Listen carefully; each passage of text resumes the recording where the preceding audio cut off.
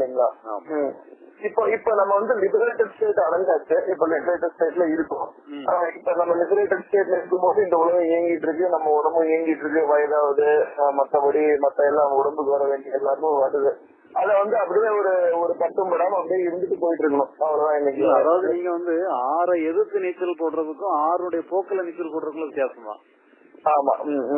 வாழ்க்கை வந்து ஃப்ரீ ஃப்ளோல வந்துரும். ஒரு எளிமையா போற மாதிரி ஆயிடும் எளிமையா போற மாதிரி நீங்க ஆயிடும். பைக்கோ காரோ நீங்க வச்சிருந்தீங்கன்னா ஃபர்ஸ்ட் கியர்ல வண்டியை நீங்க டிரைவ் பண்றதுக்கும் டாப் கியர்ல வண்டியை டிரைவ் பண்றதுக்குள்ள வித்தியாசம் தான் கரெக்டுங்க புரியல அண்டர்ஸ்டாண்டிங் ஆகல லிபரேஷன் வரலன்னா நீங்க ஃபர்ஸ்ட் கியர்லயே வண்டியை ஓட்டிக்கிட்டு இருக்கிற மாதிரி தான் புரியுதுங்க. ஆ, புரியுதுங்கய்யா ஆமா. அதே மாதிரி இப்ப வண்டியை நீங்க கிலோமீட்டர் கணக்குல ஓட்டிங்கன்னா வண்டி எரிஞ்சிரும். அது அது கரெக்ட் கரெக்டுங்க அதே மாதிரி இந்த முக்தி நிலை முக்தி நிலைன்றாங்க மறுபிறவி இல்ல அப்படின்றாங்க. முக்தி நிலையில மறுபிறவி இல்ல அப்படின்றாங்க. இப்போ இந்த இந்த என்லைட்டண்டா இருக்கவங்களுக்கு வந்து அந்த முக்தி நிலை தானா? முக்தி நிலைன்னு அந்த நம்ம நம்ம சாஸ்திரத்துல சொல்றது இந்த இந்த என்லைட்டன் ஸ்டேட் தானா? அது முக்கிய நிலைங்கிறது நம்ம இந்த லிபரேட்டட் ஸ்டேட் லிபரேட்டட் ஸ்டேட் என்லைட்டன்மெண்ட்ங்கிறது ஒரு அண்டர்ஸ்டாண்டிங் சரணாகதியும் என்லைட்டன்மெண்ட்டும் ஒண்ணுன்னு வச்சுக்கிடுங்க. சரிங்க. லிபரேஷனும் முக்கியம் எல்லாம் ஒண்ணுதான். அது எல்லாமே நம்முடைய நேச்சுரல் ஸ்டேட்னு வச்சுக்கிடுங்க. அது நம்ம எப்பவுமே அந்த நிலையில தான் இருக்கிறோம். சரிங்க. அடைய வேண்டியது இல்ல சரிங்க. அதான் முக்தி நிலையிலேயே நம்ம இருந்துட்டு இருக்கோம். இருந்துட்டு இருக்கோம். அத புரிஞ்சிட்டாவே மறுபிறவி கிடையாது. அதுக்கப்புறம் நீங்க வந்து பிறவிங்கிறது உங்க இஷ்டப்படிதான். நீங்க வேணும்னா பிறந்துக்கிடலாம் வேண்டாம்னா பிறக்காம இருந்துக்கலாம் ஆப்ஷன்ல வந்துருது. நம்ம ஆப்ஷன்ல வந்துருது. ஆமா. அதாவது இந்த ஃபீலிங்ஸ் எல்லாம் வந்து நேச்சுரலா வருது. அதை நம்ம கண்டிலாம அப்படியே இருந்துட்டு நம்ம வந்து நம்ம வந்து புதுசா ஒரு ஆசையை கிரியேட் பண்ணி அது பின்னாடி போகாம அப்படியே இருந்துட்டு இருந்தா பிரச்சனை இல்லைன்னு சொல்றீங்க இல்லைங்களா. அப்ப இந்த கர்ம வினை நம்மள தாக்குறது அதெல்லாம் ஒண்ணும் பிரச்சனை இல்லைங்க. இப்ப நம்ம பண்ற பாவம் புண்ணியம் இப்போ ஃபார் எக்ஸாம்பிள் ஒரு சின்ன இது சொல்றேன் பாருங்க. இப்ப எங்க வீட்டுல வந்து இந்த எறும்பு எல்லாம் வந்திருக்கு அது அது பாட்டுக்கு ஏதோ ஒண்ணு இருக்கு. இப்ப கரப்பாம்பூச்சி இருக்கு. திடீர்னு இது அஹிம்சை தத்துவத்துல ஐயோ நான் கரப்பாம்பூச்சி எல்லாம் அடிக்கூடாது கொசு அடிக்கூடாது அப்படின்னு இருந்தா அது வீட்டுல வந்து ஆயிரம் கரப்பாம்பூச்சி வருது அது நம்ம ஹீட் அடிச்சு அதை கொல்ல வேண்டியது இருக்கு. அந்த ஒரு சில விஷயம் அது வந்து நம்மளோட முக்தி நிலையை வந்து அது பாதிக்குமா? அந்த கர்ம வினை அப்படின்னு கேக்குறேன் நானு. இல்ல இதெல்லாம் வந்து நம்ம நம்ம வீட்டுக்குள்ள நம்ம இது பண்ணும்போது நம்மள ப்ரொடெக்ட் பண்றதுக்கு என்ன உண்டோ? அது பண்ணிக்கலாம் தான் செய்யணும். நம்ம வந்து நம்ம நம்ம உணவுக்காக அதை தேடி போய் சரிங்க. ப்ரொடெக்ட் பண்றதுக்காக நம்ம பண்றோம். அதனால அது. தப்பு கிடையாது. அது பாவம் கிடையாது.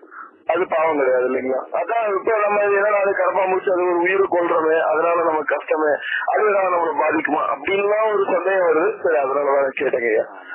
அதெல்லாம் நம்ம- நம்ம ஒரு ரொம்ப பெரிய மேட்டரா எடுத்துக்கணும் நம்ம வந்து லிபரேஷன் தான் நமக்கு ஒரு முக்கியமான மேட்டர் அது நம்ம. அண்டர்ஸ்டாண்ட் பண்ணிட்டோம்னா அந்த லிபரேஷனும் நமக்கு ஈஸி ஆயிரும். அவ்வளவுதான். அதோட நம்ம சார் நம்ம ஒரு குழந்தையா மாதிரி வாழ்ந்துகிட்டே இருக்க வேண்டியதுதான். ஒரு குழந்தையா மாதிரி வாழ்ந்துட்டு இருக்க வேண்டியதுதான். சமுதாயத்துக்காக ஒரு சில இதெல்லாம் பண்ணிக்கிட்டு மத்தபடி நம்ம குழந்தையா மத்தவங்க குழந்தையா குழந்தையோட பக்கத்துல இருந்து போயிட்டே இருக்க வேண்டியதுதான். இல்லையா? நம்ம குழந்தையா இருக்கும்போது நமக்கு என்ன பிரச்சனை இருந்து ஒரு பிரச்சனையும் கிடையாது.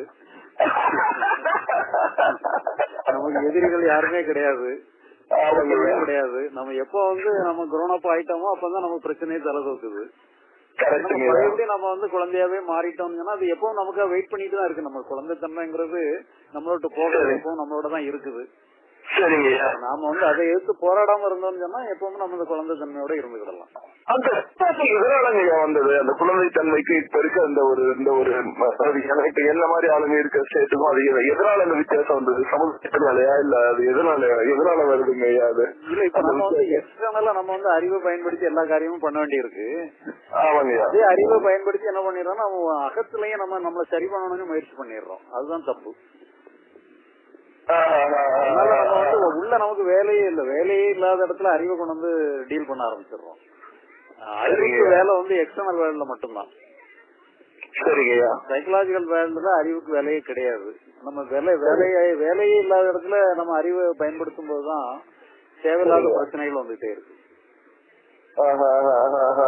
அதனாலதான் அந்த இன்டெலிஜென்ஸ் இஸ் நாட் ரிக்வயர்ட்னு சொல்றாங்களா? சில பேர் எனக்கு அந்த மாதிரி சொல்லியிருக்காங்க. இந்த யோகா வழியில நான் ஃபாலோ பண்றதுல intelligence is not required when you are enlightened when you know the truth you will know everything அப்படின்னு சொல்றாங்க. அவன் இன்டெலிஜென்ட் வந்து எக்ஸ்டர்னல் வேர்ல்டுக்கு தான் intelligence required psychological வேர்ல்டுக்கு we have to reject the intelligence போட்ட வேண்டிய அங்க வந்து நம்ம குழந்தைக்கு என்ன எது என்ன இன்டெலிஜென்ஸ் வேண்டியிருக்கு? குழந்தை தனியா செயல்படுத்துறதுக்கு இன்டெலிஜென்ஸே தேவையில்ல சரிங்கய்யா சரிங்க. உணர்வு மட்டும்தான் செயல்படணும் அங்க. சரிங்கய்யா. இப்ப இந்த உடம்ப விட்டு உடம்பு இன்னும் நம்ம கான்சியஸ்னஸ் வெளியில போறது அதெல்லாம் வந்து வந்து நம்மளுடைய சூக்ஷ்ம சரீரம் வெளியே போயிருது. இது நிறைய பேருக்கு நடக்குது. சரிங்க. உங்களுக்கு நடந்திருக்கு அவ்வளவுதான். இது நிறைய பேருக்கு இதே இப்ப நமக்கு தெரிஞ்சவங்கல நிறைய பேருக்கு இதே மாதிரி ஹேப்பனிங் நடந்திருக்கு. என்னன்னா வெளியே போயிட்டு உள்ள திரும்பி வர்றதுக்கு கஷ்டப்பட்டுட்டு இருந்தவங்க இருந்திருக்காங்க அவங்களுக்கு ஹீலிங் பண்ணி தான் உள்ள அப்புறம் அந்த மாதிரி வெளியே போகாம தடுக்க வேண்டியிருக்கு. சரிங்கய்யா அப்படி எல்லாம் சிலதெல்லாம் ஆயிருக்கு. அதனால அது ஒரு மேட்டர் இல்ல அது வந்து இப்ப நமக்கு வந்து பாடியும் அந்த சூக்ஷ்ம சரீரமும் ஒன்னா இணைஞ்சு கிடக்கு. சரிங்கய்யா சிலவங்களுக்கு அது கொஞ்ச நேரம் பிரிஞ்சு கொஞ்ச நேரம் வெளியே போயிட்டு வந்துருது. அது எப்படிங்க அது எது என்ன அது அது என்ன தத்துவம் அது? அது அது சூட்சும சரிங்கன்றது நம்ம கான்சியஸ்னஸ் அது ஊரில போகுது இல்லையா? கான்சியஸ்னஸ்ங்கிறது சூக்ஷ்ம சரீரம் தான் சரிங்கய்யா. அது பாடிக்குள்ள நுழைஞ்சதுனால பாடியோட சேர்த்து நம்ம ஃபீல் பண்றோம். சரிங்க நீங்க பாடியை விட்டு வெளியே வந்தவரை பாடியை ஃபீல் பண்ண முடியாதே? அதுதான் எனக்கு நடந்தது. ஆமா கரெக்ட் நான் ஆனா என்னால பாட்டு கேட்க முடியுது. நானும் பாடுறது எனக்கு தெரியுது. லைட் எல்லாம் பார்க்க முடியுது என்னால. எல்லாருக்குமே இந்த அனுபவம் இருக்கு. அதாவது வெளியே வந்த பிறகுமே ஆனா அடுத்தவங்களோட தொடர்பு வச்சுக்கிட முடியாத வழி அவங்க வந்து எல்லா விதமான உணர்வு ஏன்னா புலன்கள்ங்கிறது வந்து நமக்கு அந்த இதெல்லாம் சூட்சும சரீரத்துல தான் புலன்கள் இருக்குன்னு சொல்றாங்க. புலன்கள் மூலமா தான் நம்ம எல்லாத்தையும் அனு அறியறோம். பொறிகள் வந்து பாடியில பொறிகள் இருக்கு. புலன்கள் வந்து சூட்சும சரீரத்துல தான் இருக்கு. அதனால நம்மளால வந்து எல்லாத்தையுமே ஃபீல் பண்ண முடியும். சரிங்கய்யா அதனாலதான் வந்து நம்ம வந்து அந்த இது நம்ம உணர முடியுது. உணர அதே மாதிரி இப்ப வந்து நம்ம வந்து ஒரு ஒரு லிபரேஷன் செட்டு போன பின்னும் இந்த சூழ்நிலை சரிமான வந்து எப்ப வேணா விட்டுட்டு போறதுக்கு அது உண்டான வாய்ப்பு இருக்கு இல்லைங்களா? வெளியே வந்த பிறகு மூணு சரீரம் பிரியுது பாத்துங்க அதாவது பிராண சரீரம் காரண சரீரம் சூக்ஷ்ம சரீரம் மூணு சரீரம் பிரியுது. சரிங்கய்யா மூணு சேர்ந்த கலவையா தான் வெளியே வருது. சரிங்கய்யா வெளியே வந்த பிறகு நீங்க இன்னொரு பிறவிக்கு போகணும்னு சொன்னா அந்த சூக்ஷ்ம சரீரத்தை விட்டுட்டு அந்த காரண சரீரமும் பிராண சரீரம் மட்டும்தான் இன்னொரு பாடிக்குள்ள போகுது. அந்த மெமரி எல்லாமே பிராண அந்த சூக்ஷ்ம சரீரத்துல மெமரி எல்லாம் இருக்கும். சூட்சும சரீரத்துல மெமரி எல்லாம் இருக்கும். அதனால மெமரியை வந்து நீங்க விட்டா தான் அடுத்த பிறவிக்குள்ள போக முடியும். நீங்க அடுத்த பிறவி எடுக்கலன்னு சொன்னா அந்த சூக்ஷ்ம சரீரத்தோட அப்படியே இருந்துருவீங்க. இப்ப இந்த சில சித்தர்கள்லாம் வந்து அப்படியே இருக்கிறது வந்து அந்த சூக்ஷ்ம சரீரத்தோட இருந்துடுறாங்க அவங்க.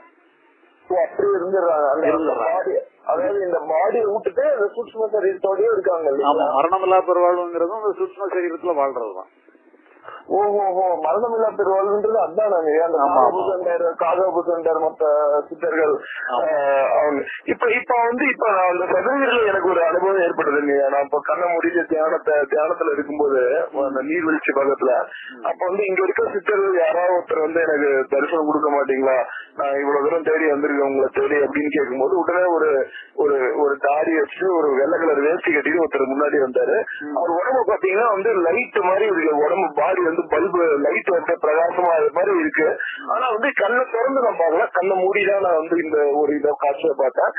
அது வந்து உண்மையா அது உண்மை அது உண்மையா என்னன்னு கூட எனக்கு தெரியல. அது ஒரு ஒரு பிரமையா கூட இருக்கலாம். பட் அப்படி கேட்டவுடனே வந்ததால அது வந்து ஓ இது இந்த மாதிரி எல்லாம் இருக்கும் போல இருக்கு. அப்படின்றது எனக்குள்ள கண்ணை மூடிட்டாங்க. அப்ப எனக்குள்ள இருக்கிற எது வந்து அவங்க உணர்ந்தது? அப்படின்றது எனக்கு புரியலங்க அப்படிலாம் ஏதோ ஒண்ணு பாக்குது இல்லையா. என்ன பாக்குது கண் கண்ணு மூடி இருக்கும்போது ஏதோ ஒண்ணு பாக்குது வெளியில என்னமோ நிக்கிறது. அது எப்படி அது என்ன எது அப்படின்னு எனக்கு கொஞ்சம் கன்ஃபியூஷனுங்க அதான் தேடிட்டு இருக்கேன். அதை பத்தி ஒண்ணும் இல்ல. நம்ம உள்ள இப்ப நீங்க உதாரணமா நடந்து முடிஞ்ச விஷயத்த நீங்க கற்பனை பண்ணி பாக்கலாம் தானே? அதே ப்ராசஸ் அங்க நடக்கலாம் இப்ப நீங்க கனவு காண்றீங்க அங்க எல்லாத்தையுமே நிதர்சனமா பாக்குற மாதிரி தானே இருக்கும். அதே மாதிரி இதுவும் ஒரு வகையான ஒரு ஒரு நேரடியா பாக்குற மாதிரி ஒரு ஒரு அம்ம- அம்சத்தை உள்ள கிரியேட் பண்ணுது. அது உண்மையா கூட இருக்கலாம். அதனால ஒன்றும் தப்பு இல்ல. அது ஒரு நம்ம ஒரு பெரிய ஒரு மேட்டர் எடுக்கணுங்கிற அவசியம் இல்ல. சரிங்கய்யா ஆஹ் அது உண்மையா கூட இருக்கலாம். சரிங்க. எல்லாமே ஃபால்ஸ் ஆனா இது வந்து ரியலா கூட இருக்கலாம். ஆனா அது ஒரு மேட்டர் கிடையாது அது. சரிங்கய்யா அதுக்கப்புறம் இந்த புருவ மத்தியில வந்து அந்த அந்த ஒரு லைட் அந்த ஃபர்ஸ்ட் நான் ஒரு காளி மாதிரி ஒரு உருவத்தை பார்த்தேன். அது வந்து பாத்தீங்கன்னா அது வந்து பாத்தீங்கன்னா பல கை வச்சிருந்தது நாக்கு வெளியில இருந்தது. பாத்தீங்கன்னா கருப்பா இருக்கு. ஆனா சுத்தி வந்து நெருப்பு மாதிரி ஒரு நெருப்பு நெருப்பு இருக்க கலர் இருந்தது. அது அப்படியே ஒரு சின்ன ஒரு இது மாதிரி அது அவ்வளவு பெரிய உருவத்தை பார்த்தோன்னே பயந்து ஒரு நிமிஷம் அப்படியே ஹார்ட் நின்றுச்சு ஒரு நிமிஷம் அதை பார்த்த உடனே பயந்து போய். அதுக்கப்புறம் அது வந்து ஒரு சக்கரம் மாதிரி மாறி அது வந்து அப்படியே அந்த அந்த புருவ மத்தியில வந்து அது உள்ள போச்சு. அப்புறம் உடம்புலாம் வந்து ஒரு மாதிரி ஒரு ஷாக் ஆகுற மாதிரி இருந்தது. அந்த ஒரு அந்த ஒரு சுச்சுவேஷன் அது எப்படி எனக்கு எக்ஸ்பிளைன் பண்றதுன்னு தெரியலங்களா. அது வந்து அது வந்து எதனால நடந்தது? அது எப்படி யார்கிட்ட கேட்டா எனக்கு ஒரு பதில் புரியும்? அப்படின்றது அது அந்த ஒரு தேர்தலும் இருக்குங்க எனக்கு? அது அது எதனால இல்லையா நடந்திருக்கும் அந்த ஒரு விஷயம்? அதேதான். அந்த ஃபர்ஸ்ட் சித்தரை பார்த்தா அதுக்கப்புறம் நம்மளும் பார்த்தேங்க. இல்ல இதெல்லாம் நீங்க யோகா ப்ராசஸ் எல்லாம் நிறைய பண்றீங்க பாத்தீங்களா? சரிங்கய்யா யோகா ப்ராசஸ் பண்றதுனால சில இந்த மாதிரி அனுபவங்கள்லாம் சாத்தியப்படும் பாத்துக்கோங்க. இப்போ இது வந்து முழுக்க அந்த ஞான மார்க்கத்துல வர்றவங்களுக்கு இந்த மாதிரி அனுபவங்கள் அதிகமா ஏற்படுறது ரொம்ப குறைவு. சரிங்க. அதாவது அப்படியே ஏற்பட்டாலும் அவங்க ஏதோ ஒரு மேட்டரா எடுத்துக்கிட மாட்டாங்க. ஒரு கனவை பாக்குற மாதிரி பாத்துட்டு அதை அப்படியே ஏதோ வந்தாலும் விட்டு போயிருவாங்க அவ்வளவுதான். சரிங்க சரி, புரியுதுங்க புரியுது. ஏன்னா இது வந்து ஒரு பெரிய விஷயம் இல்லன்ற மாதிரி அது ஒரு அனுபவம் தான் அப்படின்னு விட்டுட்டு போயிட்டு அது கரெக்ட் கரெக்டுங்க புரியுதுங்க. ஆனா அந்த அந்த இது நான் பார்க்கும்போது நான் எந்த விதமும் ஃபாலோ ஃபாலோ பண்ணலைங்க நான் சும்மா அந்த நியூ எக்ஸ்பீரியன்ஸ் ஒன்னு ஆச்சு. அதுக்கப்புறம் நான் சும்மா தேட ஆரம்பிச்சேன். சரி இது சகோதர சித்தர்களா இருக்காங்களா? அவராவது நம்ம குருவா வருவாரா? அப்படின்னு சொல்லி சும்மா காடு மலையில அப்படியே சுத்திட்டு இருந்தேன் அந்த டைம்ல. அப்போ அந்த அந்த டைம்ல தான் வந்து இந்த அனுபவம் நடந்தது அப்ப அதை பத்தி வந்து அவ்வளவா கண்டுக்க வேணாம் அதை கண்டுவிட வேண்டியதில்லை. நமக்கு இது வந்து இப்ப இருக்கிறதா ஹையஸ்ட் வந்து லிபரேஷன் தான். லிபரேஷன் நம்முடைய நேச்சுரல் ஸ்டேட்டா இருக்கு. அதை டிஸ்டர்ப் பண்றதுக்கு ஒண்ண வேண்டியதில்லைங்கிறத நம்ம அண்டர்ஸ்டாண்ட் பண்ணா மட்டும் போதும். வாழ்க்கையை ரொம்ப. எளிமையா போயிடும் அவ்வளவுதான். ஒரு பெரிய நம்ம பெரிய மலையை புரட்ட வேண்டியதே இல்ல. எதை கண்டு பயப்படவும் தேவையில்லை. இல்லையா. அந்த மாதிரி அண்டர்ஸ்டாண்டிங் வரும்போது நமக்கு எதுவும் பயப்படணும்னு அவசியம் இல்லாம. அதாவது இங்க என்னன்னு சொன்னா நீங்க பயப்பட கூட பயப்பட்டுக்கிடுங்கிறதுதான் அதாவது ரொம்ப எளிமையாயிருங்க ஒரு குழந்தைய வந்து நம்ம ஒண்ணுமே பண்ண குழந்தை வந்து பயப்பட எல்லா உணர்வையும் காட்டும். பாத்தீங்கன்னா இன்னோசென்டா இருக்கும் பாத்தீங்களா? அந்த மாதிரி வந்து எதையுமே ஒரு ஒரு ஃப்ரீ ஃப்ளோக்கு வந்துடுறோம் அவ்வளவுதான். சரிங்க புரியுதுங்க மாதிரி ஒரு நிலைக்கு வந்துடுறோம். சரிங்க புரியுதுங்க ஐயா, ஆஹ் இந்த ரொம்ப மிக்க ஒரு- நானும் ரொம்ப பேசிக்கான ரிசல்ட் தரவா எடுத்துக்கிறீங்க ரொம்ப நன்றிங்க இந்த ஒரு அருமையான ஒரு அற்புதமான ஒரு வாய்ப்பு எனக்கு எனக்கு கொடுத்ததுக்கு.